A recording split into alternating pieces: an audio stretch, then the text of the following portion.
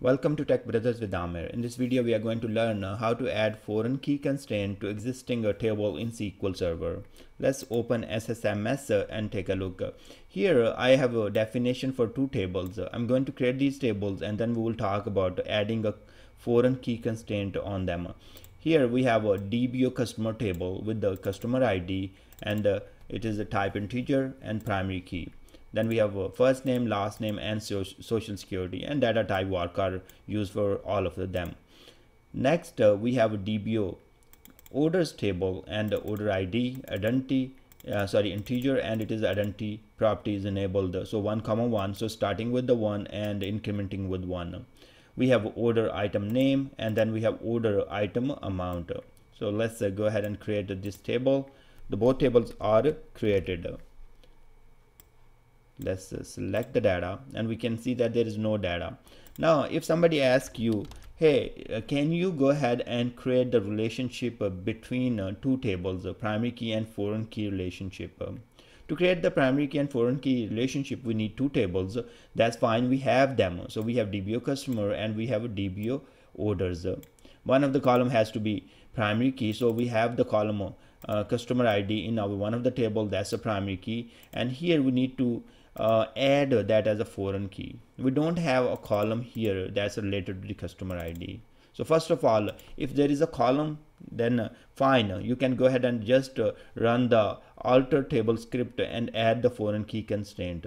If you do not have the column in the second uh, table, you need to add that column. In our case, we don't have it, so I'm going to create add that column first, uh, and then we will create the foreign key constraint. So I'm saying alter table DBO customer add customer ID integer. Notice that here I'm keeping the same name uh, what we have uh, here. That's not uh, necessary. So you don't have to have same. You can always say customer underscore ID or any name what you like. But as you are creating a relationship between two tables and the, the, good reason you want that uh, you will be using a uh, in the join queries. So you will be selecting the data from uh, two tables. The only reason you are creating this relationship is uh, probably at one point you need to grab the data for both tables. So you can use these uh, columns and join on them.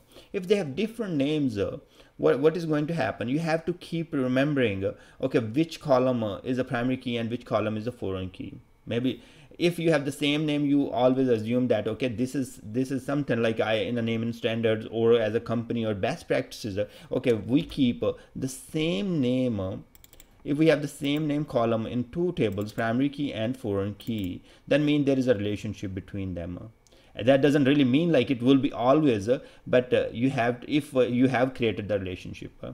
so I, I really suggest uh, using the same names so when you are joining on these columns uh, by using inner join outer join or left join you remember that okay customer id okay let me join with the customer id as the relationship is there for me so i'm going to go ahead and leave the customer id or uh, sorry um, I was in R. So control R if you will hit control R so you will see the result set and if you hit back control R that, that will disappear. That's what I, the shortcut key I use when I need to show you something in the query and then I need to show you the results. Control R control control plus R. Okay now we have uh, the columns here. Next uh, we need to add the foreign key. So what we need to do we say alter table dbo orders and then say add constraint constraint name. So give some reasonable name. In my case i'm saying fk foreign key customer id so you can further if you want to go ahead and say oh which source uh, table i'm using? So you can some make something like this. Uh, this is my source table orders then destination table and then a column you can also make that way. So once you see that you will tell right away okay i have a foreign key constraint on my table orders and this is pointing to destination or using the primary key column from customer and this is the column name.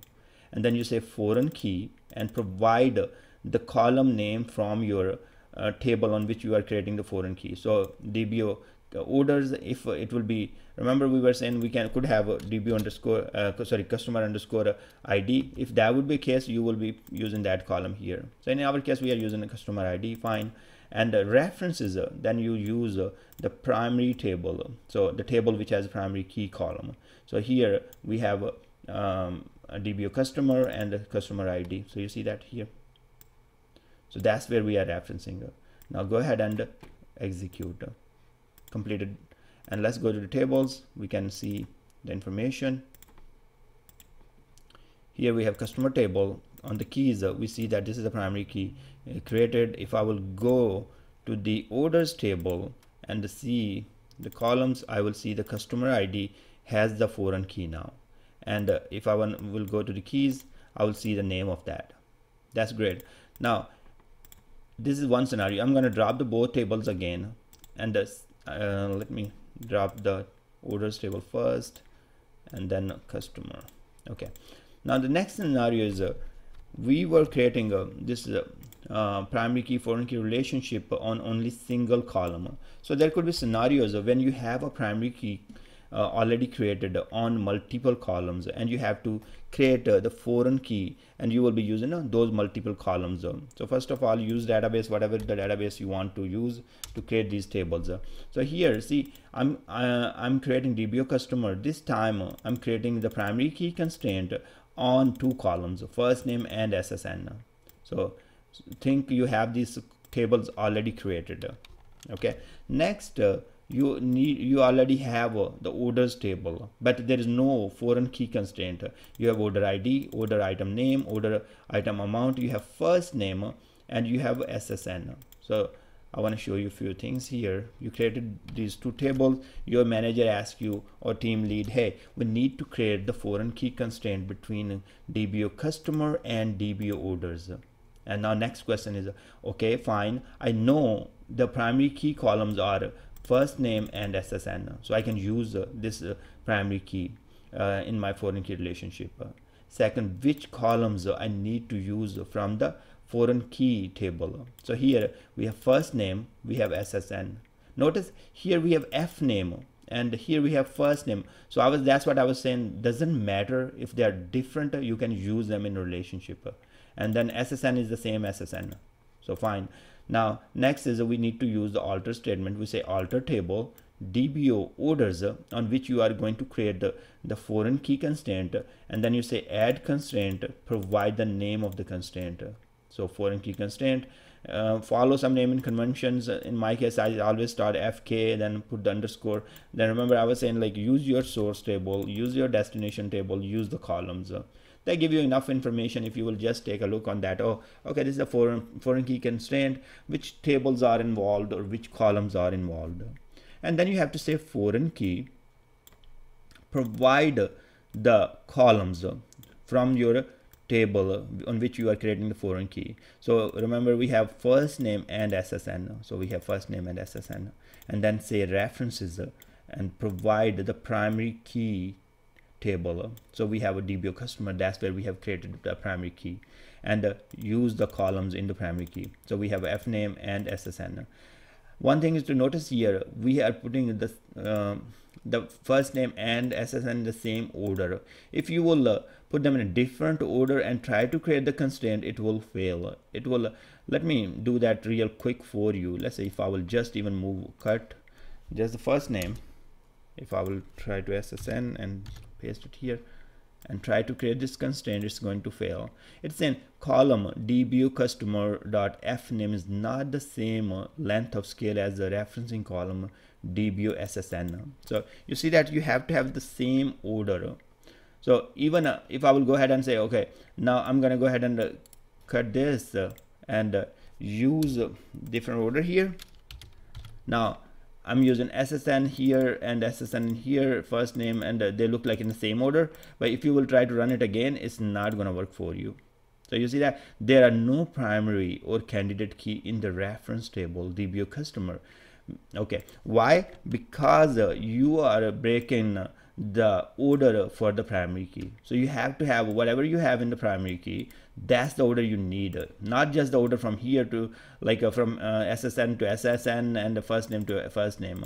So you have to follow the same pattern or order for columns what you have your in your primary key. And then adjust these ones accordingly. So first name should be coming first and ssn